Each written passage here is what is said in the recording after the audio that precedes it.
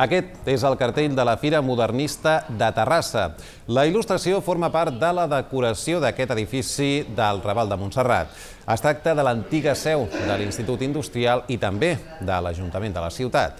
El seu autor va ser Joaquim Vancells, principal impulsor del modernisme a Terrassa. La seva figura, de fet, serà un dels eixos centrals de la fira que es celebrarà al cap de setmana del 10 i 11 de maig. Bona nit. Aquesta és una de les imatges més destacades de la jornada, un dilluns, però que també ens ha deixat altres notícies. Com és habitual, tot seguit fem un repàs al sumari i comencem. Més de 10 farmàcies de Terrassa s'han adherit a la jornada de recollida de medicaments de l'ONG Banc Farmacèutic. A la ciutat les medicines es destinaran a Creu Roja, Càritas i la Fundació Busquets. Sabadell ha acollit el primer curs internacional de fleca moderna. Es tracta d'un esdeveniment pioner que dona l'oportunitat als alumnes de conèixer noves tècniques i models de negoci. El nou Centre de les Arts al Vapor Gran ha presentat la programació d'activitats i tallers de música, dansa i salut. Hi haurà sessions especials i un projecte educatiu per a nens d'entre 6 mesos i 3 anys. El Terrassa Futbol Club s'allunya de la zona de playoff d'ascens després de perdre per 0-2 contra el Rubí aquest diumenge. Els de Miqui Carrillo no van complir en el partit més important de la temporada. Pedro García va fallar un penal que hagués permès als aguerencs equilibrar el partit i Ernest va sentenciar 4 minuts pel final. Millor li van anar les coses al Sant Cristóbal, que després de quasi 5 mesos sense conèixer la victòria, ahir va sumar els 3 punts contra l'Aviam. El waterpolo també és protagonista aquest dilluns. L'equip masculí del Natació Terrassa va derrotar el Barcelona, mentre que el conjunt femení va aconseguir un valuós empat contra el Sant Andreu de cara a afrontar amb optimisme la Copa de la Reina.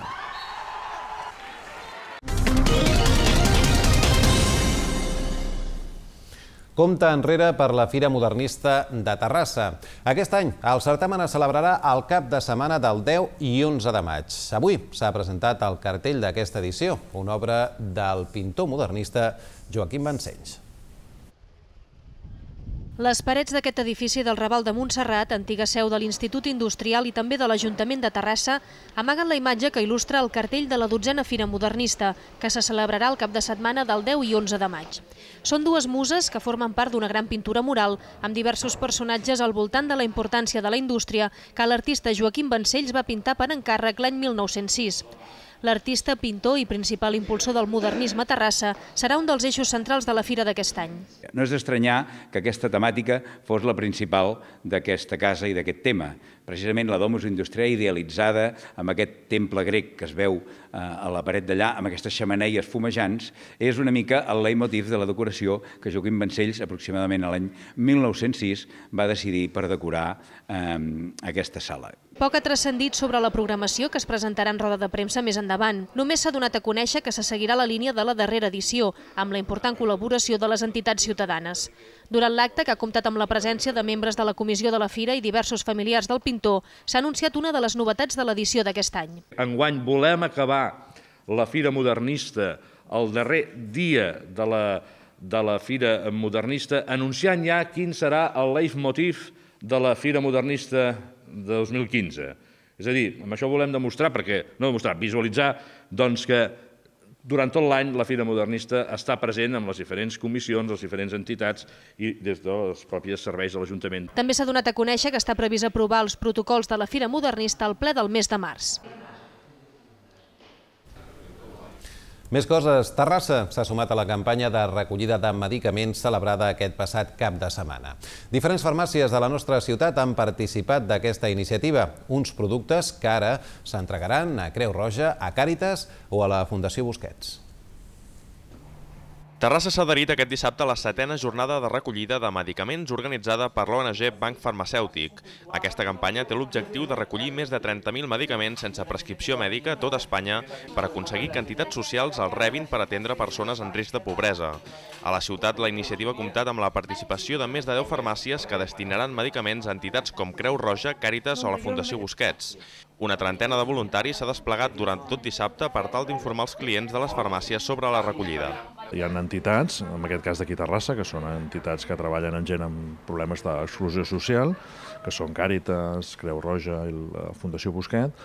El que fan és que ens han demanat una sèrie de medicaments i productes de, de farmàcia i aquest dia el que fem és demanar a la gent que col·labori i compri una d'aquests productes per, per aquestes entitats.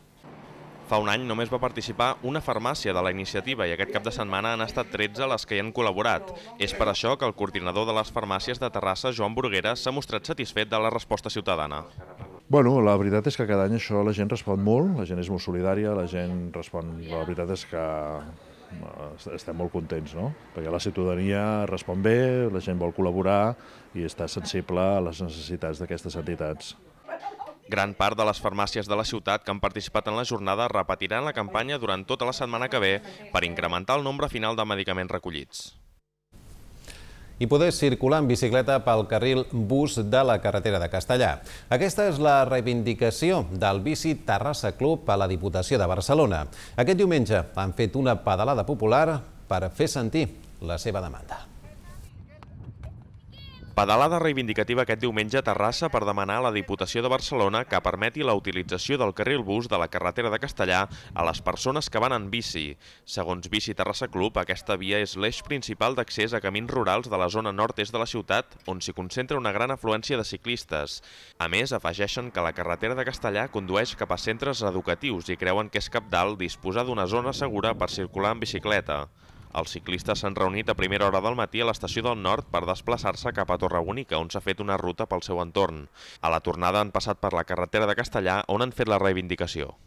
Ens han prohibit anar en bicicleta, eh, al·legant que és perillós i que mm, més aviat hauríem d'anar per on hi ha els cotxes, eh, qual pues, encara per nosaltres ho fa més perillós, no? perquè ha els autobusos, els cotxes, i creiem que el trànsit que hi ha d'autobusos tampoc no és tan important i que podem conviure perfectament com els altres carrils eh, bus que hi ha a la ciutat.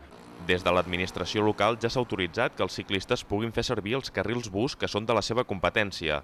Ara, els membres de Bici Terrassa Club asseguren que seguiran insistint tot i la resposta negativa que han rebut per part de la Diputació que s'hi pugui anar en bicicleta, perquè resulta que aquest carril és de la Diputació de Barcelona i no està permès anar en bicicleta, tot i que tothom hi va, i volem que es faci oficial i que hi hagi una pintada que ens deixi anar en bicicleta tranquil·lament. Des de Bici Terrassa Club han constatat que és molt més segur circular pel carril bus que no pas fer-ho pel carril de cotxes, ja que van a una gran velocitat en aquest tram. Els ciclistes consideren del tot inviable fer passar les bicicletes per la vorera per la gran quantitat de vianants i el seu disseny. Canviem ara de tema, i és que el PSC ha celebrat primàries per tal d'escollir el seu candidat a les properes eleccions europees. Un exemple de transparència democràtica, segons ha apuntat el primer secretari de la formació socialista, Pere Navarro. Finalment, Javi López ha estat el candidat més votat. El Partit dels Socialistes de Catalunya ha celebrat aquest dissabte les eleccions primàries per escollir el candidat que encapçalarà la llista del PSC als comicis europeus. El primer secretari del partit, Pere Navarro, ha votat al matí a la seu del PSC a Terrassa. Gairebé 90.000 persones, entre militants i simpatitzants, han estat cridades a les urnes. Els socialistes s'han mobilitzat per escollir entre el precandidat oficialista, el líder de la JSC, Javi López, o la secretària d'Europa del PSC de Barcelona, Aliana Camps. Navarro ha remarcat que les primàries demostren una reivindicació d'aprofundiment democràtic del partit. Jo crec que els dos candidats doncs, han tingut una campanya intensa. Jo crec que això ha ajudat a que els companys i les companyes sàpiguen que aquestes eleccions europees són unes eleccions molt importants, són unes, eleccions crucials, no només pel futur d'Europa, sinó evidentment també pel futur de la pròpia, de la pròpia Catalunya. El primer secretari dels socialistes a la ciutat, Jordi Ballart, ha votat a la mateixa hora que ho ha fet Navarro. L'alcalde de Terrassa ha animat a altres forces polítiques a prendre exemple del seu partit. Home, la importància molta, no? i sobretot doncs, en un dia important com avui. Avui, de fet, doncs, és, és una festa de la democràcia, és un exemple doncs, que, que és un partit obert, que és un partit transparent i que és un partit doncs, que, que cada dia, doncs, amb actuacions com aquestes, millorem la qualitat de la democràcia i de les decisions que, que es prenen al partit. Ballart ja ha anunciat que es presentarà el procés de primàries que encetarà el partit per escollir el candidat de cara a les eleccions municipals del 2015. I marxem ara fins a Sabadell. I és que la ciutat ballesana ha acollit el primer concurs, el primer curs, volíem dir, internacional de fleca moderna. El certamen ha reunit professionals d'arreu del món al voltant de les tècniques d'elaboració del pa. Sabadell ha acollit durant tot aquest cap de setmana el primer curs internacional de fleca moderna. L'escola Andreu Llargués ha reunit més d'una trentena de professionals procedents de països com Líbia, Grècia, Itàlia, Portugal o Mèxic. Es tracta d'un esdeveniment pioner que ha donat l'oportunitat als alumnes de conèixer noves tècniques i models de negoci per situar el pa a un nivell d'excel·lència. Al llarg dels tres dies que ha durat el curs s'ha presentat un sistema de masses revolucionari i les pròpies creacions han estat degustades pels mateixos professionals. Són tres dies en el qual els professionals que venen estan envoltats de, de, pa, de pa i de tot el que és el món de la fleca. L'objectiu és, principalment, donar a conèixer als professionals de tot el món aquesta nova tècnica i com s'ha de treballar per treure un millor producte i un producte més saludable. El creador del panier, Francesc Altarriba, ha lluat la figura de l'especialista en pa perquè representa un punt d'inflexió en la fleca moderna. Segons l'expert, una vegada el producte surt del forn, cal donar-li un valor a través de l'estètica. El responsable del curs, Josep Pasqual, ha destacat el caràcter internacional d'aquesta iniciativa. Un curs per primera vegada a Espanya no a Catalunya, sinó a tota Espanya, un curs internacional perquè vingui gent de tot el món a aprendre a fer pa, cosa que és molt difícil, perquè normalment el, la gent se'n va a França o se'n va a altres països que tenen molta més anomenada, i aconseguir que vingui gent de l'estranger a, Espanya, doncs ja, i a Catalunya concretament, i més a Sabadell, doncs és complicat. Els organitzadors ja pensen en una nova edició d'aquest curs de cara als propers mesos. D'altra banda, un grup d'estudiants de la UAB ha impulsat la campanya Oh My God. L'objectiu és reduir el consum de gots d'un sol ús al campus de Bellaterra. I és que cada any a la universitat es fan servir fins a un milió d'aquests productes. A la Universitat Autònoma de Bellaterra cada any es fan servir prop d'un milió de gots d'un sol ús a les màquines de cafè, que suposen més de 2.500 quilos de plàstic propilè i un volum de residus equivalent a tres piscines olímpiques. Un grup d'estudiants voluntaris han creat la campanya Oh My God per aconseguir que tothom es porti el seu got tal com és costum als països nòrdics d'Europa. Les 45 màquines de cafè repartides pel campus tenen l'opció de servir la beguda beguda sense got, amb un estalvi econòmic pel consumidor de 5 cèntims. L'objectiu és que totes les persones es portin el seu got i el reutilitzin cada vegada. El primer que volem aconseguir és que tothom sàpiga que les màquines eh, consumeixen i gasten aquest nivell de residus a l'any i que el grup d'universitaris de, de l'Autònoma i també de treballadors i treballadores puguin fer-ne un ús una mica més conscient. El grup de voluntaris de Medi Ambient de la Fundació Autònoma Solidària que promou aquesta iniciativa està format per 15 estudiants i compten amb el suport de l'Oficina de Medi Ambient de la Universitat. La primera fase, en marxa des del novembre, és de sensibilització sobre l'impacte mediambiental que això suposa. S'ha col·locat informació a totes les màquines de cafè i s'ha creat una pàgina específica de Facebook. En una segona fase de la campanya s'està estudiant la possibilitat de repartir gots reutilitzables i plegables entre els membres de la comunitat UAB. L'Autònoma va ser la primera institució que va utilitzar el got reutilitzable a la Festa Major de l'any 1998. I els parlem ara de Heik Anta Diop. Es tracta d'un historiador i antropòleg senegalès. Està considerat com una de les figures africanes més importants del segle XX. A Terrassa, la comunitat senegalesa ha fet un homenatge a la seva figura. L'Associació Catalana de Residents Senegalesos ha celebrat aquest dissabte una simposi panafricanista sobre la figura de Sheikh Anta Diop, un historiador i antropòleg senegalès que va estudiar els orígens de la raça humana i la cultura africana precolonial ha estat considerat un dels grans historiadors africans del segle XX. Amb el llibre L'origen de la civilització, mite o realitat, publicat l'any 1974, va guanyar una gran popularitat. D'aquesta manera, la comunitat senegalesa i el seu president, Theo Bancolé, han volgut agrair la tasca que va fer Sheikh Anta Diop. Sheikh Anta Diop es una persona que representa mucho dentro la comunidad senegalesa afri negra africana, porque hizo mucho trabajo sobre la revalorización de la cultura africana. Lo que hizo Sheikh Anta Diop es demostrar realmente que realmente existe una cultura africana, que al contrario, la cultura negra es uno de los primeros en este mundo. La regidora de Ciutadania i Drets Civils, Lluïsa Melgares, creu que és una bona oportunitat per difondre la història senegalesa. Sobretot pues, els valors que porten. Són valors, aquesta, eh, bueno, la gent que ve del Senegal sobretot és gent molt solidària, és gent molt sacrificada, és gent que té molt a, a, a portar a la nostra ciutat i nosaltres tenim, els autòctons, molt que aprendre d'aquestes cultures moltes vegades. I això és el que dona la riquesa. La jornada ha acabat amb un petit concert acústic d'un grup senegalès.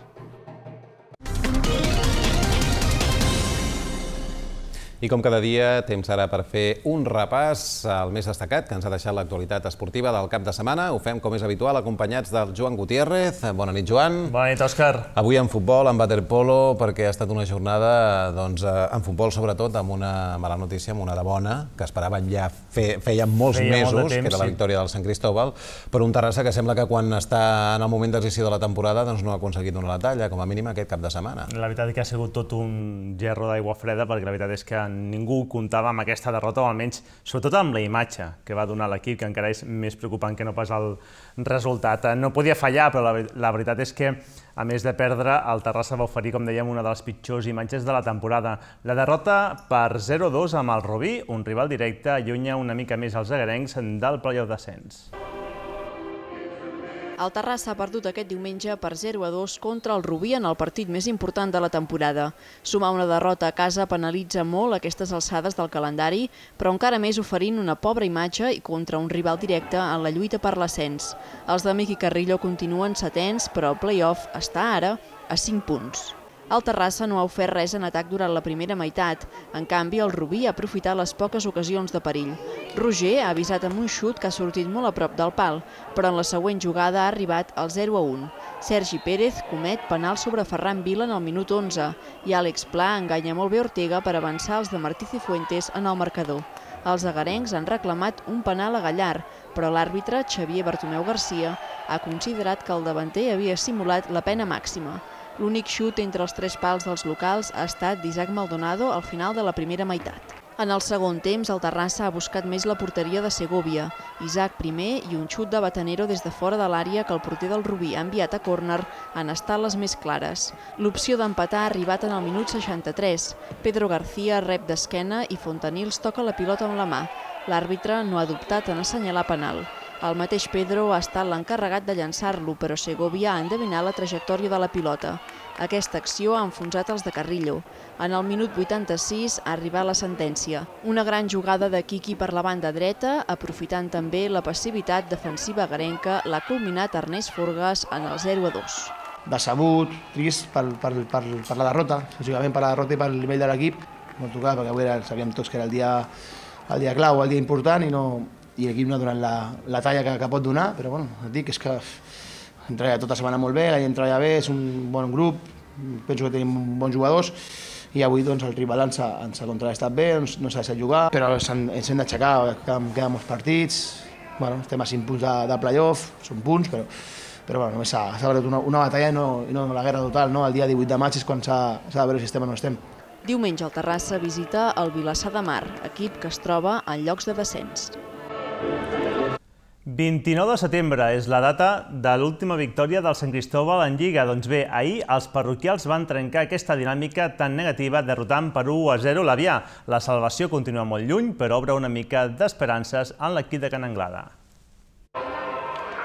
Pràcticament una volta sencera ha tardat el Sant Cristóbal en tornar a guanyar un partit. No ho feia des del 29 de setembre, quan es va imposar al Llefià el seu proper rival. Aquest diumenge els parroquials han sumat la seva tercera victòria, en superar per la mínima l'Avià. Els agarens continuen últims, però la salvació està ara a 11 punts. Els visitants han creat molt perill a pilota aturada durant els primers 10 minuts, però els ha faltat encert de cara a porteria. En canvi, el Sant Cristóbal ha aprofitat la seva primera arribada. Néstor aprofita un refús en curt del porter Coll a xut de Manolo per fer l'únic gol del partit als 11 minuts. L'Avià ha continuat buscant la porteria local, però s'ha trobat amb bones respostes de Dani del Rio. També els de Toni Arjona i David Hinojo han pogut ampliar les diferències al contracop, però Manolo ha enviat al pal una bona assistència de Néstor en el tram final de la primera meitat. A la represa, l'Avià s'ha volcat a l'atac, però Del Rio ha evitat l'empat amb les seves intervencions. Una vegada s'han tret la pressió de sobre, els terrassencs han buscat el gol de la tranquil·litat. L'entrada de Marquinhos, que portava molts mesos lesionat, ha donat més pólvora en atac als parroquials. De fet, el mateix jugador de falta ha estat a punt de fer el 2 a 0. Estoy muy contento porque la victoria hacía falta por un tema mental de autoestima para los chicos, eh, ilusión que la tienen, pero la, la victoria hacía falta. Yo creo que hemos mejorado un poquito defensivamente. Eh, siendo un poquito contundentes y prácticos atrás, que es lo que hay que hacer, porque en esta categoría eh, yo creo que los goles se marcan por los errores del contrario, no por los aciertos de, del contrario. Entonces, bueno, teniendo portería cero, siempre iremos bien. El Sant Cristóbal visitarà el proper diumenge un altre rival directe, la Unificació Llafià. I a la divisió d'honor masculina de waterpolo, victòria plàcida del Club Natació Terrassa davant del Barcelona. Un parcial de 5 a 0 dels de Daninar a l'inici del partit va encarrilar el triomf. Els agrencs continuen tercers a la classificació.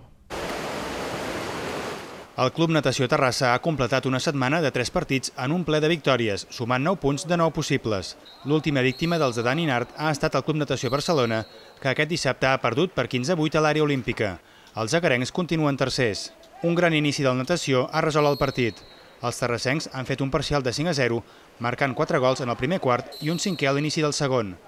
Danat Galef, Òscar Aguilar, Ricard Alarcón, Òscar Carrillo, que n'ha fet 4 en total, i Sergi Mora han encarrilat el triomf. Els barcelonins han fet després 3 gols consecutius, però l'equip de Nart no ha donat opció a la reacció visitant i gràcies al seu contraatac ha marxat al descans amb un favorable 9 a 3. A la represa el partit s'ha equilibrat, però en tot moment el natació l'ha controlat i ha viscut de la renda adquirida en el primer temps per emportar-se els 3 punts. Evidentment m'esperava un partit d'algú més competit, hem aconseguit aquest avantatge fàcil, un partit sense massa complicacions, gràcies a que teníem la inèrcia del, del partit de dimecres. Uh, vam estar, vam, ens va obligar al Sant Andreu a estar molt concentrats, a preparar molt bé aquell partit, i aquella preparació doncs, ens ha durat avui. I aquest avantatge és això, és un fruit de, de, de no és casualitat, és que l'equip estava ordenat, l'equip estava serio, estava molt ordenat en defensa i amb molta gana de sortir fort del contraatac. La divisió d'honor masculina s'atura pels compromisos de la selecció espanyola. Els agarencs no tornaran a jugar fins al dissabte 22 de febrer, quan visiti el Navarra. No va poder sumar la victòria l'equip femení de natació Terrassa, tot i que va estar molt a prop. El Sant Andreu, fins a aquesta jornada tercer classificat, va haver de lluitar fins al final per emportar-se un punt de l'àrea olímpica. Al final, empat de nou per una natació que recupera el crèdit perdut les darreres dues jornades de Lliga. L'equip femení de waterpolo del Club Natació Terrassa ha trencat la dinàmica de dues derrotes consecutives de la Lliga, sumant dissabte un valuós empat a nou contra el fins ara tercer classificat, el Club Natació Sant Andreu, un punt que manté les agarenques en sisena posició. El tècnic local, Xavi Pérez, tenia dues baixes per aquest partit, una de molt significativa com és la d'Alba Sánchez, amb una lesió al braç, i la d'Anna Roldan. Tot i que les barcelonines han portat la iniciativa durant els dos primers quarts, dos gols de Raquel Roldán i Maria Cifuentes en el tram final han permès al natació arribar al descans amb empat a 5. La segona meitat ha estat de màxim equilibri i amb alternatives en el marcador. Dos gols d'Eugeni Pirat en el darrer període han permès a les agarenques posar-se per davant 9 a 8, però Helena Lloret, màxima realitzadora del partit amb 5 dianes, ha acabat donant un punt a les visitants en el darrer minut tinc la sensació que hem, estat, que hem, que hem tornat a agafar aquest, aquest to, aquest ritme que, que tan grans ens, ens ha fet com a equip i el, el més maco de tot és que després d'una setmana difícil elles han, han sobrepassat totes aquestes dificultats i han, i han pogut treure el partit endavant, que sí que és un punt més, més important, però jo me'n vaig més amb la sensació del, del bon joc i de, i de la intensitat que no tant amb guanyar, guanyar aquest punt. Llàstima que, que hem cedit eh, tres empats amb aquest i, i una derrota, però, però hi ha empats que, que tenen gust a, a victòria, com el, com el d'avui, crec que, que hem d'estar contents per aquests, per aquests números. El natació, doncs, ofereix una imatge ben diferent de cara a afrontar amb les màximes garanties la Copa de la Reina. Doncs un empat que esperem que vagi molt bé a les jugadores de natació Òscar de cara a aquesta Copa de la Reina que comença divendres. Esperem-ho, Joan. Demà més. Demà més. Que vagi Vinga, bé. adéu. Aquest diumenge s'han entregat els Premis Goya i entre els guardonats, un estudiant de l'ESCAC, del centre situat a Terrassa. Es tracta de Pau Esteve. L'alumne de l'escola ha guanyat el premi a la millor direcció de fotografia. Ho ha fet pel seu treball a Caníbal. El tècnic català, recordem, ja va ser reconegut al passat Festival de Sant Sebastià per aquest mateix treball. L'alcalde de Terrassa, Jordi Ballart, ha felicitat el cineasta pel Goya. Per Jordi Ballart, el premi és una mostra més de l'excel·lència de la tasca que fa l'ESCAC i de l'aposta terrassenca per sector audiovisual. I el nou Centre de les Arts de Terrassa ha presentat la seva programació, tot un seguit de cursos i de tallers que s'allargaran fins al mes de juny. Una àmplia oferta cultural que va del cant al teatre passant pel claquer. La Nou Fontanals del Vapor Gran acull des d'aquest curs l'Escola de Música SEM, el Centre Tomatís de Terrassa i l'Associació Amics de la Música. Aquestes tres entitats han format el nou Centre de les Arts, que neix amb la voluntat d'oferir activitats i tallers de música, dansa i salut. Aquest dilluns ha presentat la programació que s'allarga fins al mes de juny. D'una banda hi ha tallers de cant, guitarra, teatre i fins i tot claquer per a totes les edats i nivells. Destaca el projecte Músics Menuts per a nens d'entre 6 mesos i 3 anys. La música, els jocs, les cançons, a nosaltres ens sembla que tenen, combinen molt bé tots aquests dos aspectes importants en el desenvolupament dels nens, que són el llenguatge i el moviment. El llenguatge té un ritme, té una cadència sonora, i el moviment té un joc natural que els nens ja tenen. Què farem nosaltres? Estimular-los perquè tot això eh, vagin creixent. El Centre d'Arts de Terrassa també vol ocupar un buit que diuen hi ha a la ciutat en l'oferta de masterclass amb músics de primer nivell. Ja hi ha programades classes de trompeta a càrrec de Reinald Colom, de piano amb Àlex Alguacil i de música antiga per Nuno Méndez. Per últim, també el centre està tancant una programació d'espectacles i concerts familiars per al proper curs, amb un objectiu pedagògic i lúdic. En els moments actuals pensem que, que, que és molt important que tots eh, treballem a favor de, de la cultura. I aquest centre de les arts ve a fer això, Eh? I per tant, eh, valoraria aquest, aquest, aquest esperit, diguéssim, d'unió i de sinergies que, que el Centre de les Arts vol representar la ciutat de Terrassa. La inscripció a les activitats i tallers s'ha de formular a la web del Centre de les Arts. I tots... D'altra banda, també els expliquem que la parròquia de Sant Valentí ha acollit aquest diumenge la missa solemne en honor a un dels patrons de Terrassa. L'ofici va comptar amb la presència del regidor de districte, José Manuel Jiménez Cárdenas. Durant la missa van intervenir els infants de la catequesi. També va participar la coral Balmés de Barcelona. La cerimònia va estar presidida pel bisbe auxiliar de Terrassa, Monsenyor Salvador Cristau.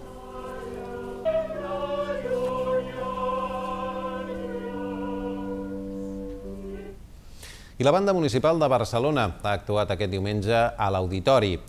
La capital catalana ha acollit l'estrena de la primera sinfonia de la compositora terrassenca Elisenda Fàbregas, una obra que recull les seves experiències personals i també la influència de la cultura dels tres països on ha viscut, Catalunya, els Estats Units i Corea del Sud. Aquesta és la primera vegada que la banda municipal de Barcelona encarrega una obra a una compositora catalana.